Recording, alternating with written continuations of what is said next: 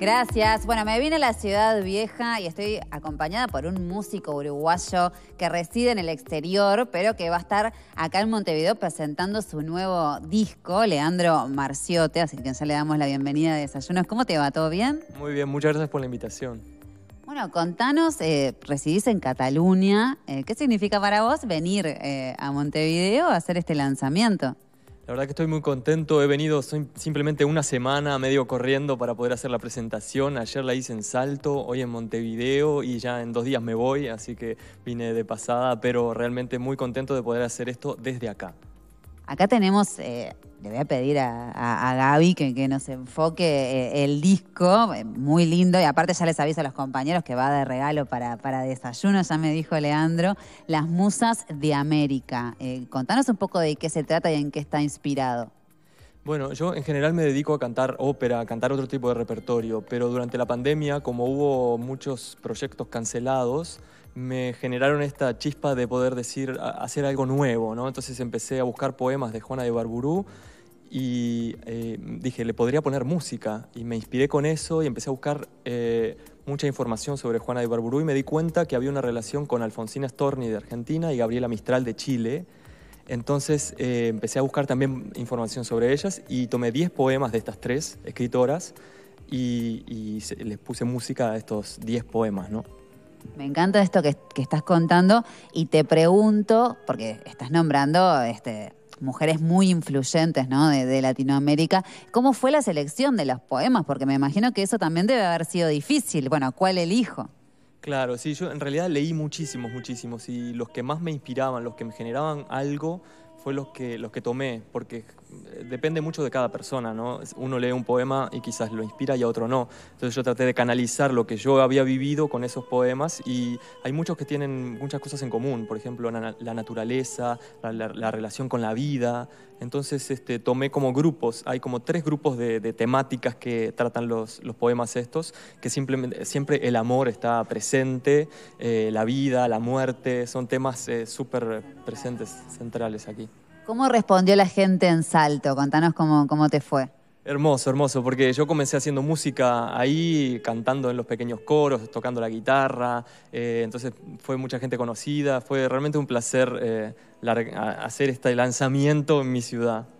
Bueno, y ahora estamos en el lugar donde vas a lanzar el disco acá en Montevideo. Vamos a invitar a todos aquellos que se quieran acercar, decir dónde estamos y cuándo va a ser. Sí, estamos en el museo, en el MAPI, aquí en Ciudad Vieja, y a las 20 horas vamos a hacer esta presentación donde voy a hablar, voy a contar todo sobre el, disco, todos los detalles de las cosas que estuvimos haciendo, que hemos trabajado con dos instrumentistas muy buenos en Barcelona, que fue donde grabamos el disco, con un clavecín y una viola da gamba, que son instrumentos barrocos. Eh, y logramos este, este matiz que es un poco nuevo, un estilo que es diferente, que no se encasilla en ningún lado. Entonces, súper contento de mostrar esta fusión que es nueva aquí en Montevideo esta noche. Leandro, contanos un poquito eh, de vos. ¿Hace cuántos años que residís afuera del país? Hace 15 años que me fui para Europa. Estuve viviendo en Francia, después fui a Holanda, después estuve en Alemania y ahora estoy en Barcelona. Ah. Pero viajando, viajando siempre, por suerte tengo bastantes actividades y voy cantando en distintos lugares. ¿Y, de dónde nace tu, gusto por, por la música? ¿Viene de familia? Bueno, mi madre toca la guitarra y canta un poco, pero bueno, no, profesionalmente, pero se escuchaba siempre música en mi casa y entonces eso me inspiró. Eh, fuimos a clases de piano, a clases de guitarra, siempre estaba un poco presente la música en la familia, ¿no? ¿Y, por qué te, te, inclinaste por, por ese género? ¿Siempre te gustó? Hay veces que la vida hace su propio camino sin que uno realmente lo esté buscando, ¿no? porque eh, yo no conocía nada de música clásica propiamente dicho, en, eh, en, Salto no teníamos clases de canto lírico y fue recién cuando me vine a Montevideo a estudiar en la Universidad de la República que ahí empecé a estudiar canto ya de grande, digamos, y, y se me abrió todo un mundo nuevo que no conocía y sobre todo este tipo de registro vocal que yo tengo que es contratenor es muy específico y aquí mismo aquí en Montevideo en la universidad había, eh, nadie había estudiado como contratenor, entonces eh, tuve que averiguar con distintos profesores en distintos lados y finalmente por eso me terminé yendo para Europa, ¿no? ¿Y, en Europa cómo, cómo te, abriste camino? Porque me imagino que, llegaste y debe haber sido difícil también el poder este, seguir tu sueño de vivir de la música. Sí, fue como un volver a empezar, ¿no? Porque son otras reglas, otra gente, la gente tiene otra, otro, otros estudios, estudian desde muy chicos, entonces eh, tienen un conocimiento que nosotros no tenemos quizás aquí, pero puedo decir con, que tuve suerte, digamos, y que con mucho esfuerzo pude lograr este, ahora estar cantando en distintos lugares, ¿no? Bueno, ¿y ahora qué, se viene? ¿Qué otros proyectos eh, se vienen para este año? Este año está repleto, cargadísimo. Esto en realidad es un proyecto que estoy haciendo del disco eh, por placer, digamos, pero mi trabajo y la mayoría de las cosas que tengo son cantando óperas principalmente. Y ahora tengo un viaje que voy cinco días para Europa, que tengo un concierto en Alemania, y después me voy para México, que canto en una ópera en México, eh, voy a estar un mes y medio en México, y bueno, y así iré viajando, tengo conciertos de Canadá también, así que un año bien agitado, pero feliz. ¿Y tenés pensado o te gustaría más adelante volver a, Uruguay para presentar algún espectáculo con la música habitual que vos haces?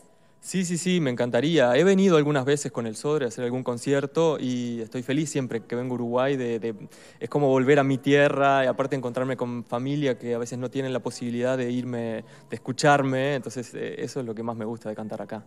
Bueno, Leandro, antes del cierre, vamos a repasar de nuevo. Ya lo dijimos, pero por si algún distraído se perdió dónde verte, vamos a decirlo. Eh, ¿Cuándo es? Que es hoy, ¿no? Esta noche. Esta noche, 20.30 y vamos a... 20 horas. algún distraído como yo. 20 horas este, y, repetimos el lugar. En el MAPI, en el Museo MAPI aquí en Ciudad Vieja. 25 de mayo. Bueno, que sea un éxito. Muchísimas gracias. Gracias a ustedes. Un placer. Bueno, ahí teníamos a Leandro y queda, queda hecha la invitación para todos aquellos que quieran venir a acompañarlo en este lanzamiento que se va a realizar hoy. Impecable. Gracias, Nadia. Nos vemos en un ratito. Beso grande. Hasta luego. Chau, chau. Chau. Bueno, las mejores.